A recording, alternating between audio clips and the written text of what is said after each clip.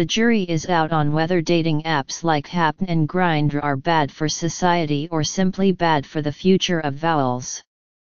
They're plainly no help to Niru, the teenage boy at the center of Speak No Evil, Uzodinma Iweala's second novel. You've heard of Iweala, even if you've not read him.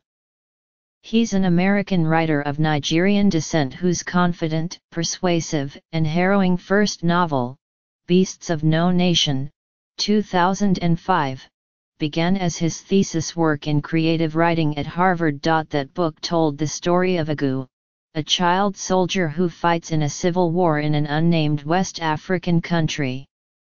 It became a slow burn of a Netflix movie from the director Cary Fukunaga. Iweala's long-awaited and underwhelming sophomore effort is set in the United States. It's about what happens when Niru, the son of wealthy and conservative Nigerian American parents in the suburbs of Washington, D.C., comes out of the closet to Meredith, a preppy white girl who's in love with him. In her novel Americana, the Nigerian writer Chimamanda Ngozi Adichie had a blogger write, one great gift for the zipped-up Negro is the white friend who gets it. Niru is as zipped up as a freezer bag. And the sensitive Meredith, who resembles a younger Anne Hathaway, gets it. She so wants to be useful to her gay friend that she secretly installs Grindr and other dating apps on his phone. When Niru's father sees his flashing notifications and asks who is Ryan, this novel's fuse is lit. Before long Niru and his father are on their way back to Nigeria for gay conversion therapy of a sort that would warm the ventricles of Mike Pence's tattletale heart. Iweala plays Niru's story as tragedy, not farce. Indeed, one of this book's essential points is that reckless fun is only for white teenagers. Niru may be a track star and headed to Harvard, early admission, but he has to be perpetually wary. I look at these kids laughing with each other, standing without jackets like even the cold can't touch them and I don't understand why there are people for whom rules and norms are fully optional, for whom foolishness is celebrated. Niru thinks. White kids smoke weed, ingest cocaine, and hook up freely. And there is me, he says, black, sober and scared to death by locker room banter. Speak No Evil is a muted, minor chord novel.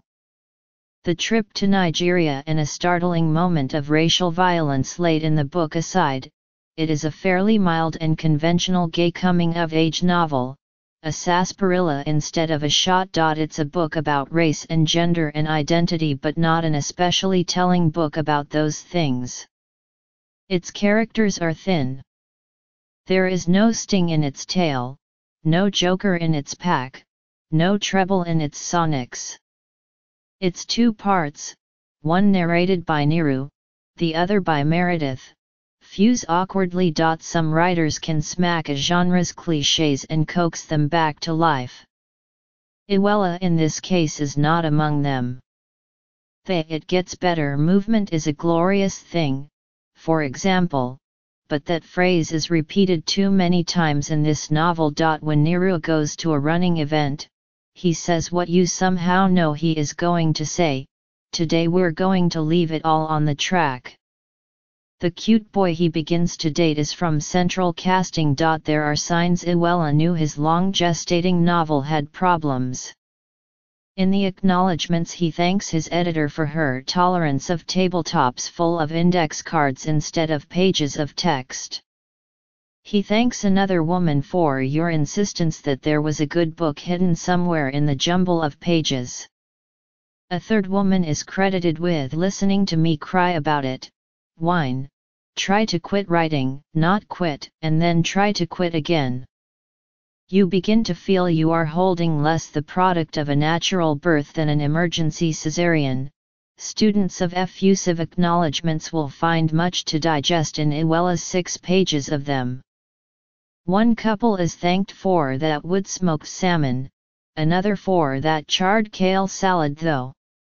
A woman is thanked because three words, Italian, hot, sauce. Niru, alas, is a picky eater. There are moments in this novel that hint at Iweala's freer, more essayistic voice. He is probing on how, back home in Nigeria, Niru's father is a different man larger and louder, he seems to take up more space.